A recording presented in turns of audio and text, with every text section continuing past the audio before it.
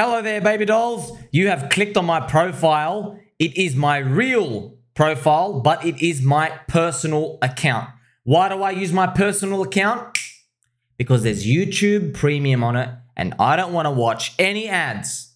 So go to my real channel in the description at your friend Sommi. Come and join the crypto revolution, and I guess I'll see you there.